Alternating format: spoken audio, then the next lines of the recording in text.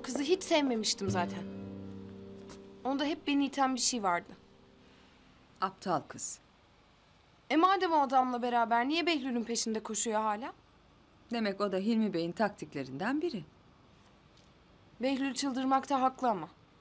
Bütün bunların sorumlusu Nihat değil ki. Ona niye saldırıyor?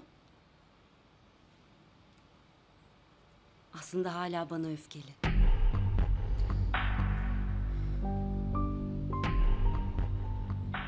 Onu bırakıp Nihat'la evlenmemi hazmedemedi. Her fırsatta Nihat'ın üstüne gitmesi bu yüzden. Hırsı geçmedi hala.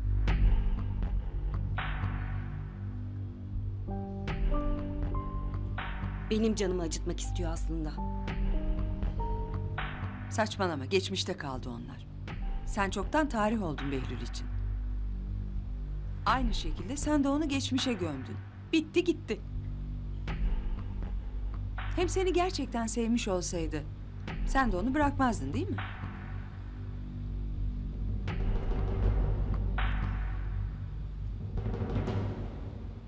Çıkalım mı artık? Biraz daha kalırsam boğulacağım zaten. Çıkalım. Derneğe mi? Hı hı. Güzel. Nihal, sen de gelsene bizimle. Derneğe mi? Evet. Yeni yıl balosunun hazırlıklarına başlıyoruz. Bugün ilk toplantıyı yapacağız. Senin de fikirlerini alırız. Çok işim var. Duvarları sen boyamayacaksın herhalde. Hadi gel kalabalıktan kurtulursun. Sıkılır Nihal orada.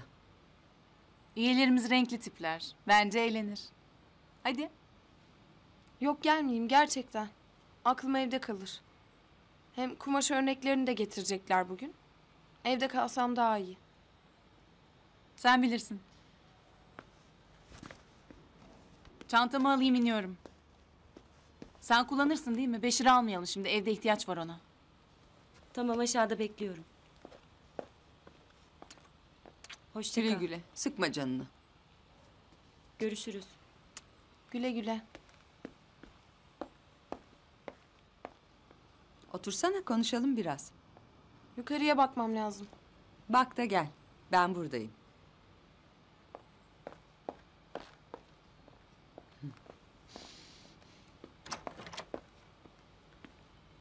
Ayrılma bari başlarından. Yanlış bir iş yapmasınlar.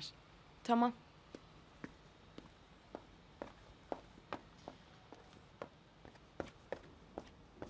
Kanalımıza abone olarak tüm videolardan anında haberdar olabilirsiniz.